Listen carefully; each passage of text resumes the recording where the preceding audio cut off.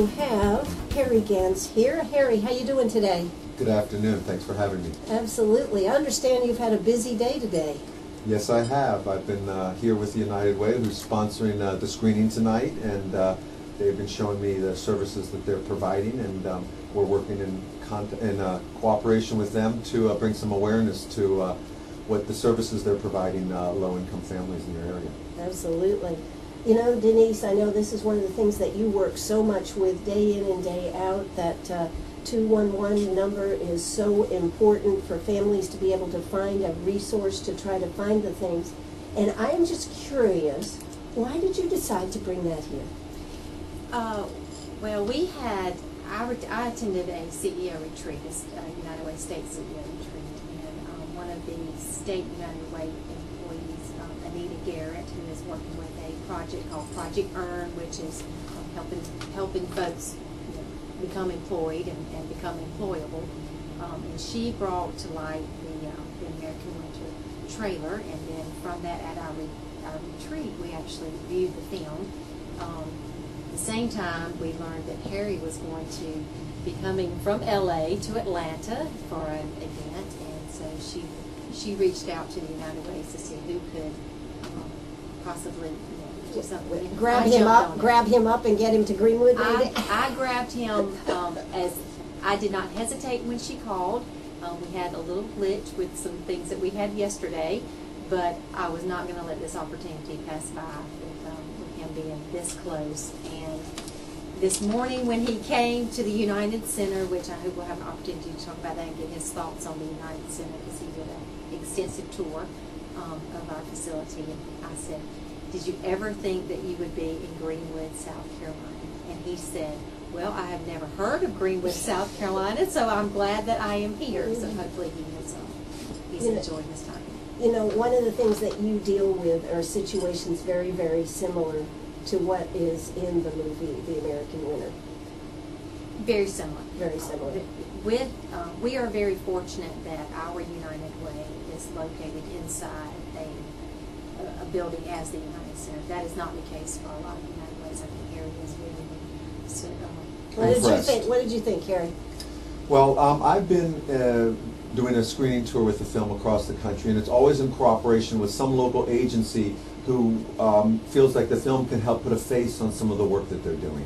And what impressed me most was that uh, the entire community seems to have rallied around uh, the work the United Way does, and uh, both getting the building, bringing all these social service agencies into one place. And the building is so inviting and warm and modern. Uh, it was a school that was re- Sure. redone.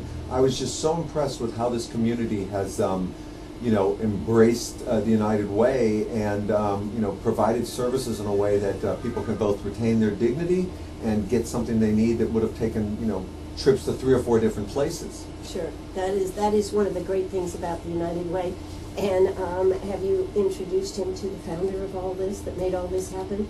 We have not seen Dr. Jack Farm. He will actually be at the um, screening tonight, and That's so great. we hope to. And he is, it was his vision. It was Yes. Dr. Jack Farm's vision to have the center. But he, Harry did get to meet um, with Frank Wideman with the Self Family Foundation, who was very instrumental in us attaining that building. Absolutely. So um, it's, it's been a great. Well, that, you know, that's excellent. And, you know, one of the things that is so, um, I'll say cataclysmic to this is the thing that we've had, the Salvation Army's uh, food pantry has been down to almost zero. The uh, food bank has been down to zero. They've really reached out to the community to try to get support and bring uh, food in. We've needed more food this year, I guess, than most any year that we've needed. And yet, we have an economy that is better. Well, it's better for some. Right. Um, you know, I, I was very disappointed in uh, the president's recent speech in which he said, well, uh, we're going to consider uh, entering this new war because uh, the economy seems to be getting better and we can afford it now. Well, uh, for Did many he people, really? Wait a minute. Did he really say that? well, he didn't say the word "we can afford it now," okay. but now okay, that's what he implied. Right. Okay. Uh, but um, you know, for the last year and a half, if you're a news junkie like I am, issues around income inequality, the decline of the middle class, the plight Yes. of poor folks has really taken front and center.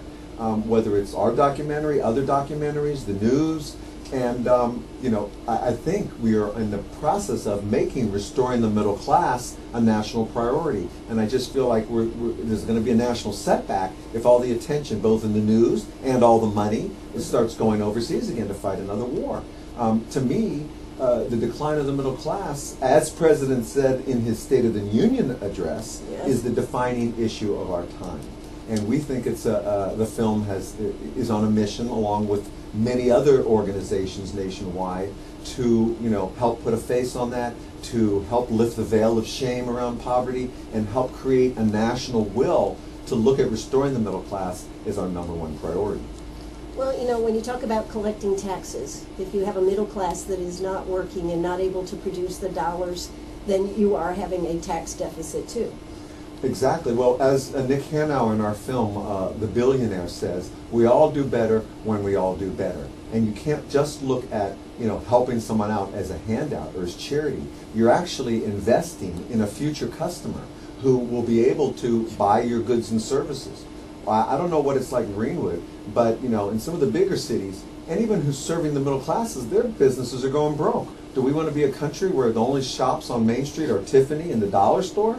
No, no. Well, as, a, as an owner of a jewelry store and as buying, we buy from people, we have seen in the last four, four years, five years, I guess now, all the people that have had to sell things just to maintain. We've seen people with homes going into foreclosures, women selling whatever they could sell of their jewelry and their fine things, silver, all the things that have value, but they've come to us.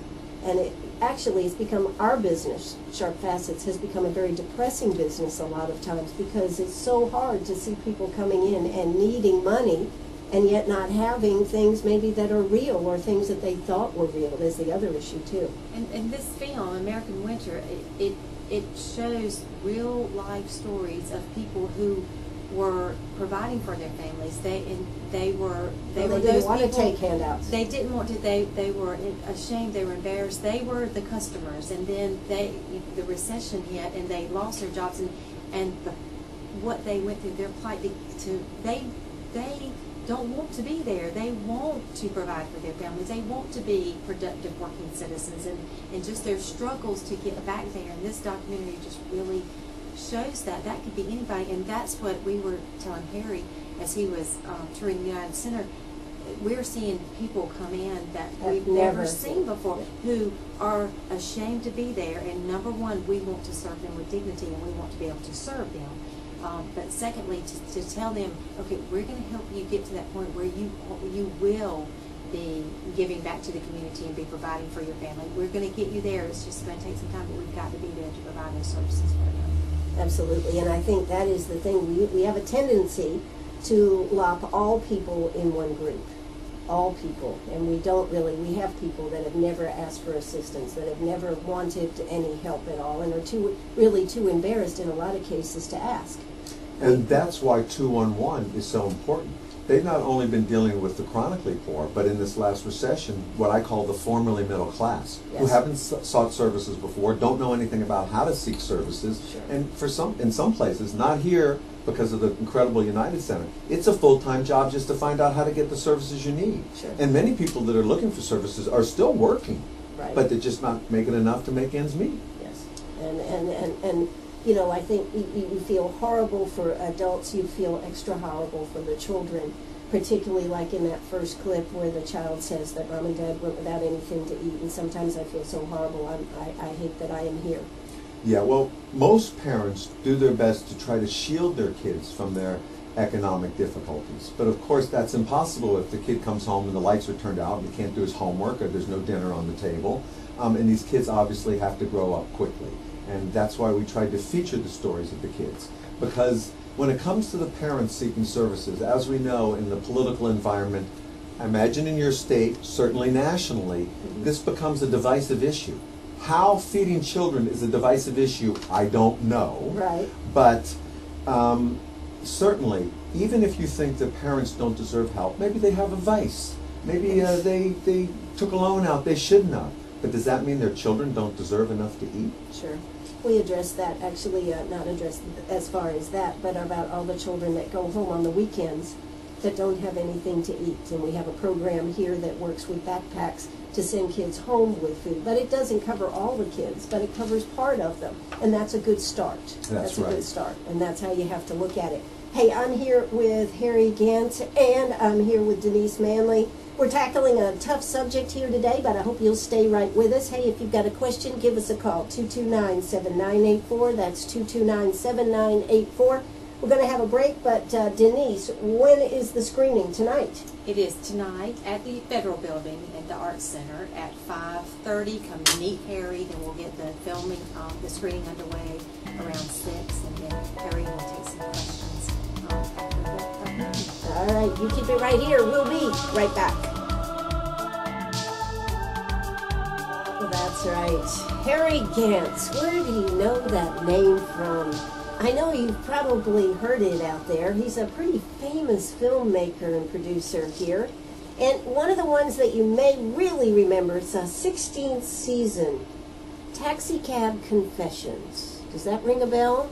I think everybody has seen that, and we've all we're all voyeurs, aren't we, Harry? We are all voyeurs, but um, I think that the, the heart of Taxi Cab Confessions was that everybody's got a story um, and everybody's got a part of themselves that they don't necessarily share with everyone, but they need an opportunity to do that. In the past, there's been psychology, there's religion, but some people don't even feel comfortable they're opening up. And there was something about that cab that was magical and, and allowed people, gave them the permission to tell their stories. Of course, we had to get the release, so you only seen the stories in which there was a release. You can imagine what's in the so vault. wait a minute. So that means you've got a lot of stories that never got published for people that said, "Oh my God, you were filming this." Exactly right, exactly right. And really, it got harder as we went because over the years, reality TV started to take off and people started to distrust it. If they knew Taxi Cab Confessions, they knew that we were trying to tell their story from their point of view. But if they didn't, their reference is reality TV. And we know how people feel about that. They might enjoy watching it, but they know that it is, uh, you know, a way to kind of degrade and uh, show people in, in their worst light. And uh, for good reason, people wouldn't sign releases because they didn't know who we are, how we were going to use it. Or how you're going to use it. I would say probably more than yeah than anything else. But you've had an immense success on that. Now, I would be interested to know before we talk more about American Winter. How did you get into the business? Did you go to school for this? What did you do? Uh, no, neither my brother and I went to film school. We were both uh, making a living doing other things. We fancied ourselves in the arts, but um, you know, I was working for my father's trucking company for a while, and um, we decided to make a film. Uh, we bought a camera. We had a friend that was a cameraman, and we made our first film uh, called Couples Arguing. And for that film, we uh, videotaped couples in the midst of their own arguments. Whenever they got into an argument, they would page us. That's how old we are. We remember pagers. And uh, we'd rush over to their argument and film it in progress. And we shot hours and hours of arguments and put together this hour and a half documentary. Was it harder than you thought it would be? Well, it, it's um, certainly we made a lot of mistakes because I did sound and my brother did camera, and the camera guy was teaching both of us. And um, it's not that it was harder; it, it's just that um, the film actually was successful. It was on um, public television and it played all over the world, and it still is used in uh, counseling, um, in teaching counselors. Mhm. Um, but it gave us the false impression that this documentary film business was easier, easy, and uh, it was a lot harder to raise money uh, as we went. And you know, basically, it was very slim pickings between that film and when we hit with Taxi Cab Confessions. Wow. So, um, so you have you have made these films. You've done this. I would be uh, curious as to what made you decide to do American Winter. Well, um, as the Great Recession took hold, we looked around and you know the, the thing about the recession is is that everybody knows somebody who was hit by it. Everybody knows somebody who lost their house. Everybody knows somebody who was evicted or lost their job or had some medical issue that turned them into uh, you know went down a few socioeconomic on the ladder. And uh, we looked around at the films that were being made, and most of them were about the causes of the Great Recession. But there was very little about the human toll. And that's sort of our expertise, following, you know, real life, especially around relationships in a very authentic way and trying to get the personal stories. And um, we read an article in the uh, LA Times about 211. Like most people, middle class and above, we didn't know what 211 was. Uh, we, the article is specifically about this wave of poverty and the increased call volume at 211 in Orange County, which was known as being a bastion of wealth, and certainly there was this underbelly of, of poverty. So they invited us down. We listened in on some calls, and we were convinced this is the is the center of the emotional toll that it's taken on families. A- And we finally found a 211 uh, organization in Portland, Oregon, who allowed us to camp out there in their uh, 211 office, listen in on calls, and we found all of our subjects through the 211 by asking some of them if they'd be willing to participate in the documentary. What was what what did people feel about the documentary? The people that you were wanting to film, what did they feel? Well, um, uh, you know, as part of the media, I'd say the shaming of the poor has been one of our biggest sins. Over the past 40, 40 years, um, uh, there has been uh, a script in the media that uh, it's your fault. And uh, there's the givers and the takers. There's the welfare clean queens and there's the people who work for a living. And uh, we found that that really was a myth. Yes, there's fraud in the system, but the majority of the people who were seeking services at 211 wanted nothing more to get the services and get back on their feet as quickly as possible.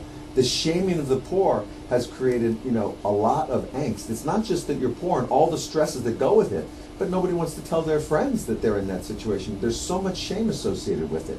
So it was hard to get people to participate, and I think the ones that did felt the value in showing this so it could help to lift that veil of shame. And I think that was, in terms of their particular experience, um, happened in the screening, uh, in the opening that was at the Portland International Film Festival when all the families showed up. They all lined up at the end of the screening and got a standing ovation. And that to us was sort of symbolic of the film's success at helping to lift that veil of shame. Now, what is the? Have you followed? Have you followed the people since the movie? Oh, absolutely. We're friends with all of them, and we, you know, Are you working on another documentary? we are working on another documentary. But I would prefer to talk about this. No, I mean, I just wondered if you're Not if on you're- this subject. Okay, no. that's what I But we're following the subject. Some of them are doing better. Some Mhm. of them are in a similar situation. Obviously, the ones that started out closer to the higher end of middle class, it's easier for them to get back on their feet Sure. uh, because it's not just um, you know your resources; it's your education, it's your contacts, and um, you know we are a very uh, socioeconomically separated society. How many people from one socioeconomic group hang out with people from another socioeconomic group? Um, maybe in a small town it's different, but certainly in most uh, of America, um, you know, it's hard to be understanding when you don't really know what the other side's doing. And that's why I love doing screenings with United Ways around the country, because United Way can gather everybody in town, from the people they serve, to the powers that be, to the business community, to the middle class. And that in itself, creating a screening in which there's a communal uh, uh, feeling, uh, in the film itself is an emotional catharsis, creates an understanding both ways, both going down the socioeconomic ladder and going up. Sure, absolutely. We are here with Harry Gantz. We're also here with Denise Manley. I want you to put this on the calendar if you don't already know about it. This evening, be there at the Art Center, 5:30. The film's going to start around 6. There'll even be a question and answer, and you'll get to talk to Harry Gantz right after the show. Hey, we'll be right back. Don't you go away. Arg, are you a pirate or a pack rat? Do you have a vacation of a lifetime sitting in the attic? Or a college tuition hung on a wall? Or is a fabulous retirement hidden in your jewelry box? Bring those items to Sharp Facets Gallery. We can establish value and buy from you or sell for you. And so ends another chapter at Sharp Facets Gallery. 72 Bypass and on the web, sharpfacets.com. Hey, I'm Anne Eller right here with you this afternoon. I tell you what, we're having a spirited conversation right here on WCRS. Hey, Harry, I know that you've been out doing screenings all over, and I know you had a tough time. I'm going to bring this up because a lot of my listeners are uh, are Hannity listeners. You had a tough time with uh, Hannity, didn't you, when you were on the on that screening? Well, first of all, I appreciated the fact that uh, Sean Hannity saw the film, Right. and he was empathetic towards the people in the film, and he invited us on. Of course, we knew he was going to, you know, hijack the conversation and not let us talk about, uh, you know, the stories of the families. He got he basically played one clip in which um, one of the commentators in the film uh, talked about, you know, uh, you have to spend a little bit more money when uh, recessions happen in order to help people get back on their feet. And he just went into the diatribe about spending more money. We spend so much. Look at all we spend on the war on poverty, and it's not a success. There's more poor. Uh, well, you know, I didn't want to argue with him because it's his show. Um, he basically said the solution to unemployment in America is everybody needs to move to North Dakota because that's where all the jobs are, and you have to be willing to move. I said, well, everybody can't move to North Carolina, uh, North uh, Dakota. Dakota. John in the film has a sing- single father with a Down syndrome kid, and he has to stay in the state because the mother's also in the state. He said no, John could move too if he really wanted to. So you're not going to argue with Sean Hannity. He gave it a lot of time. Hopefully, a lot of people saw it, and the important part is is that people on both sides of the aisle are looking at this as our number one issue. And if he can help, along with people on both sides of the aisle, to create the will to make this our number one issue and look at it the same way America looked at World War II, the same way America looked at getting to the moon, if we can look at restoring the middle class and have the will to do it, then so much more power to him. You know, if we don't restore the middle class, our economy is never going to recover. I mean, that's the bottom line. We have to put people back to work. We have to give them the skills. We have to make sure there are the jobs. We have to make it so employers feel that they can hire people and not be penalized by the government. I think those are some of the issues that need to be addressed because if we don't get people back to work, all the rest is going to fall apart. We need taxpayers. You know, the only way you have taxpayers is to have people working. Absolutely. I'm with you. So I certainly hope it becomes a subject where there is some lenience. Even the tax code, even the tax code is a problem in our country. I mean, we can talk all day long about who pays what and all this type of thing, but the tax code, when you compare it against other countries, is a problem. But we're not here to talk politics per se. We are here, though, to talk about what we can do about this. And Denise, what was your, why did you want Harry Gantz to come here? Well, when I, um, I had did my research on Harry and and, and saw the trailer, Mhm. um, and the trailer intrigued me, um, as it, I'm sure it will intrigue most people um, when they see it. And then I had the opportunity to watch, Mhm. um, and it, it was just an issue. Of course, that's close to my heart with United Way and our United Center because since the recession, we have seen the face of poverty change. Um, we have seen you know, those coming into our office seeking assistance who have never been there before, who never thought they would be there before, who did not want to be there. Um, and I personally want to make sure that assistance is there for them. I want to because I I saw that if they we could just help them out, they will be back to where they were or on the road to back to where they were. And you know what the great thing about that is? If somebody receives assistance who, number one, never really wanted it and everything, they are more than willing when they get back on their feet to help and, and see the importance to give back. Oh, you and I can't think imagine how many food pantries I've been to where the folks have told me, well, we had people who last year were contributing and pulling up in their Mercedes, and this year they're here looking for help. Sure. And when they get back on their feet, they will be right back there contributing.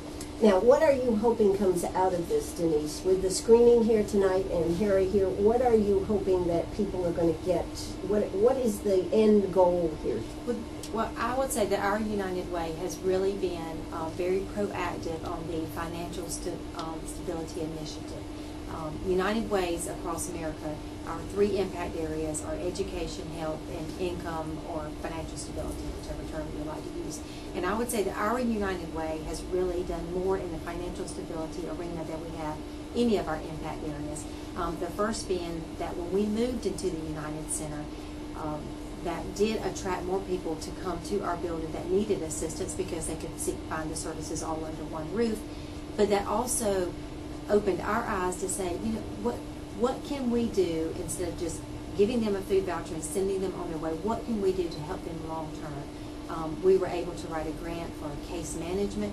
Um, we brought that program into the United Center, and then from that, our financial stability initiatives just grew and grew. When I saw the American Winter, I said we have to bring that to the community to begin the conversation so that people can then begin to collaborate. So we have got to work together to help this this sector of people so that we can you know improve our economy. We've got so this really our goal is just to begin the conversation to open the eyes and maybe people that don't realize it you know, I think sometimes I, I don't understand why people can't see it, but then I realize I see it every day, and and, and because I Well, people, you know, in truth, I don't think people don't want to see this, do they? No, do they don't really see want to see this. they don't want to see it, they don't want to admit it, but if you if you begin to have the conversation with them and you and you say if we could work together to improve it, um, that their eyes begin to open and you know they begin to think, okay, you know this is there is something that I can do, there's something that I can contribute, that I can have a part in, and they can see that it will benefit our whole community. You know, I think one of the one of the programs that you have at United Way that is so good is the uh, free tax help. Yes. You know, that program right there gives people who are getting money back that are, are uh, able to see, and you try to put them on a financial path at that point to try to put them in the right direction rather than going out and just, I'll use the word blowing the money. It is. It's our it's our VITA program, our Volunteer Income Tax Assistance Program. Um, IRS partners with United Ways to bring this free tax preparation, and people think that is so funny. I have to say it because my husband is a CPA, um, and so actually his his firm actually comes and does the tax law training with our our VITA volunteers. So um, it is about There's no relationship at all to it, though, at all, No. folks. Okay, but it is, it is more than just about filling out their their income, you know, their tax for For- free. yeah. Um, it's about saying, okay, you're going to get this two, three, four thousand dollar refund. What Sure. can we do to help you long term so that thirty days, sixty days from now, you're not coming back to the office going, I need food. And what can we do to help you on the road? Sure. Um, to And I, that, that's why I think that's a great program there that you've been able to do, and you've been able to grow that program tremendously. tremendously. Yes. From 35 tax preparations that we did the very first year to last year, 2,142 tax returns. Isn't that amazing, Harry? It is amazing. And, you know, for those of your listeners, you talked about the tax code. Um, for those of your listeners who feel like it isn't the government's job to be in this business, you have an incredible alternative. You have the United Way and the United Center. And if you don't want your tax dollars to go for it, but you still have empathy for people in that situation, this is your outlet, locally and nationally.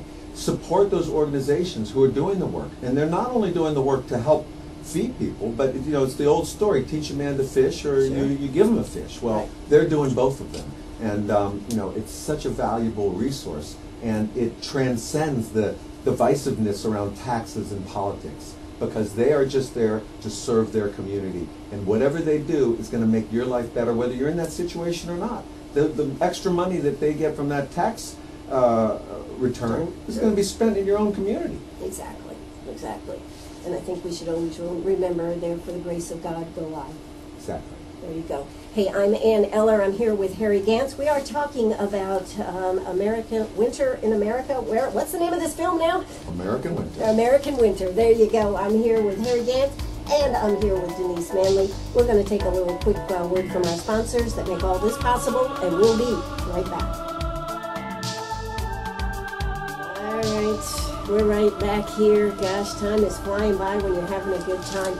Harry Gantz, I, I got to tell you, you, you were just telling us how uh, what a journey you're on with the screenings that you're seeing. You've been at different places, and uh, what's been happening? What have you been finding out? Well, um, what inspires me most is that um, no matter what the problems are around poverty, there are people in every community who sometimes just on their own initiative find a way to make a difference. Um, from large organizations to small. And I just like to continually give examples because I'm so impressed. Uh, I, I talked about an organization at lunch today called Circles, which is like a um, it's like a big brother or big sister for families. So these are middle or upper middle class families who essentially adopt a working class family, and they are their contacts, they're their mentors. You know, the education goes both ways. Sure. Um, but they are their um, basically guides to help them get back into the middle class, and that relationship basically never ends. Do you think we have a middle class today, Harry? Well, we certainly don't have a middle class that we had, you know, when I was growing up in the 60s and the 70s, where, um, you know, you're pretty much sure if you got a decent manufacturing job uh, or you got a, a, a job that paid a, a living wage, prices were lower, um, families were together, and um, you felt like, like when I did, when I graduated from college, from a, a, mixed race and a mixed socioeconomic high school, all of us felt in 1976 that if we did the right thing, if we worked hard and we got an education, that we could succeed. And I have an 18 year old who I just sent off to college this year, and I would not say that that is the same attitude of her and her friends. They're worried about taking out all this debt, and then will they even be able to get a job in which they can service their debt and live uh, a decent life? And um, you know and that's the, what the we're trying to American dream of the of the home, and and and the, the picket fence and the dog and the cat and all this. It, it's really something that is disappearing, It is disappearing, and that's very sad for our country. and it is our responsibility because I'm 56 years old. We gave this to their children, and it's our responsibility in the next 20 years, along with the new generation, to restore the middle class to the glory that it was in the 60s and the 50s and the beginning of the 70s. Yeah, exactly. I, I you know, I, I think that is, and when you talk to uh, millennials, you know, one of the big surveys they just had out here, millennials don't want credit cards because because they're afraid of having any debt because they already have debt from school. Number one. But that means when they go to buy a car or they want to buy a home, they don't have any credit. So they're really putting themselves in a jam. And I was so amazed to hear, because we always hear about college kids and credit cards, right? I was so amazed to hear that. But in the, in the larger scale of things, no, they don't want credit cards. They yeah. may, they may get a prepaid card, but they don't want one that allows them to charge beyond their what what is on it. But uh, Well, I guess they've learned a lesson from this Great Recession, and I, I prefer that they're afraid of debt than they're uh, abusing debt. So um, I I think from, that, from that standpoint, but it is a shame that they are so scared to death that they would not do this type of thing. that's right. And if you don't take that risk and take on a little uh, credit, uh, you never are able to buy a car or a house. Sure. So um, we're talking about the the documentary American Winter. If you are able to be there, you should put it on your calendar. Now I know tonight is church night, but I think that you would be forgiven if you went to this. I think actually that they would say you did a good thing. Would you think that, Denise? Oh, I certainly agree. I don't, I, you know, that's it's your choice. I'm just putting it out there, Denise. Um, Invite your minister to come along with you. there you go. Yeah. Exactly. We have But- reached out to our, our partner churches that, that do some missional work with us, and we have invited them to invite their congregation. So anybody is uh, welcome at 5:30. And certainly, uh, religion has a lot to, to a big role to play in this uh, movement to help restore the middle class because every religion has the same a similar mandate to help those less fortunate, and it uh, you know it, it transcends the divisiveness of politics, and it comes to it from a, a spiritual and a humanitarian basis. And um, so we appreciate the work that churches have done in this great recession and call on them to help us in this mission. Absolutely. You know, United Ministry came together because of a group of churches coming together. And of course, that's another organization. Actually, when you look at Greenwood, we are very blessed with the different organizations we have. We have United Way, we have United Ministry, we have the Salvation Army, plus a lot of other organizations that are out there doing good work. And I, I would say that in the last um, couple years, I've seen more collaboration amongst these um, these nonprofits to work together to serve those that need because The need is so the great. need is so great, and, and you know we're having to stretch our resources. So it's uh, it would be an excellent thing for you to be there this evening. They uh, 5:30, 5:30 to 6 is going to be kind of a quick meet and greet, and then at 6 o'clock the movie American Winter. It is at the Federal Building. Certainly, certainly hope that you will take the time to go there. I know there's a lot of other things to do out there, but you will appreciate it, and maybe it'll open your eyes to something that you haven't seen before and you can uh, relate to. You know, we we were talking earlier, Harry, about empathy and um, the relationship to empathy. Everybody wants to empathize. So let's- just discuss that when we're talking about American Winter. Well, certainly, um, you know, American Winter and the voices that children uh, generate empathy in people, and uh, there's usually not a dry eye in the house at the end of the uh, at the end of the screening. But um, empathy almost has a, it, it kind of rhymes with sympathy, and I think that's really the wrong way to look at this. I think, um, you know, as a filmmaker, what has driven me is a curiosity and an interest in other people. And you know, the great thing about a small town is you run into a lot of people you know and uh, you can see things from their point of view because some of them you know their whole life, and um, that's a great advantage, and that probably has something to do why why the United Way is so successful here. but you know, I always say that we could make an interesting documentary about anybody. So um, I don't feel sorry for people that are in a bad situation. Um, I feel like what can we all do to help them get back on their feet, and how can I help them tell their story? And I'm just interested in them. There's people who are like that all the time, and that's the mind of a documentary filmmaker. Curiosity killed the cat, but it also allowed us to feel and hear people's stories in a way that we wouldn't have without it. Absolutely. Well, you know, uh, you certainly have touched a lot of people doing this documentary, and you know, I, I was thinking about doing it in Portland, Oregon. It's cold there, isn't it? The Uh, well, yeah, it's- it's- it's not Minnesota cold, but it's cold. Yeah, and you're you're dealing with uh, a lot of really tragedy in that situation, and I just, uh, you know, I, I often think about one of the worst areas of poverty. We used to do uh, lots of Christmas, uh, help a family for Christmas. And one of the hardest things that I ever saw, and this was back in the mid 90s, was Ware Shoals and the poverty that is up in Ware Shoals. And I'll never forget going to a house, and here we were all excited about delivering Christmas. And one of the gifts that the children wanted was a bag of lemons. And I was like, okay, lemons, we'll buy lemons, no problem. We drove up in the car and we popped open the trunk, and the first thing the child looked at and said, oh, there's lemons.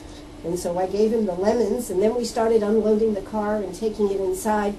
And the adult there said, uh, don't step on that rug, don't step on that rug, the dog will pop up from underneath the house. And there were holes in the floor, and the dog popped up underneath the house. Now, this is in our area, this is in our community, Ware Shoals. County. That's right. And then there was a toilet sitting in the middle of the floor. And that, that was a big one room, and there was a toilet sitting in the middle of the floor. And we walked out of that house, and I said, you know, I don't know if I can do this again. Because it was so, it was right there at Christmas. You thought you had done something good, and we had done something good. We had done something wonderful by taking these things.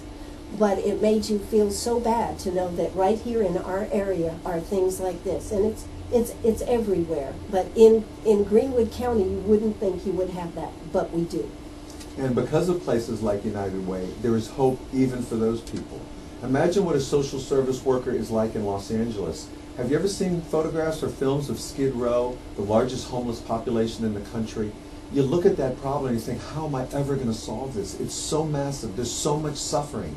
And it's hard to even look at the, you know, sort of training it takes to get somebody into the job market when there is so much poverty. So, um, you know, I think big cities can learn something from the communities like Greenwood, where um, the entire community rallies around this. The will is already here. Sure. And what I'm taking away from it is trying to bring the kind of will and community involvement where people from all walks of life, business, social services, the radio station gets behind the idea of helping those less fortunate and puts it as our number one priority. So thank you for giving me that lesson. That's, well, I, you know, I, I think the other thing, uh, Denise, that we don't realize that nobody ever thinks that we have in Greenwood is homeless people. That is true. Uh, and we do have homeless people. Right, we do. Because there are so many different classifications of homeless. Um, there are multiple families living under one roof. There is um, that single mom who can't afford, so she's staying at a friend's house. There are so many different ways to look at homelessness, and we do have that problem. Now, we are very fortunate that in the last few years we've had the Pathway House Absolutely. shelter. Um, but even with the Pathway House, it, they are a cold weather shelter, which now they have gone year round for their men's facility. This is WCRS right here in Greenwood. Go ahead, Denise, I just needed to say that.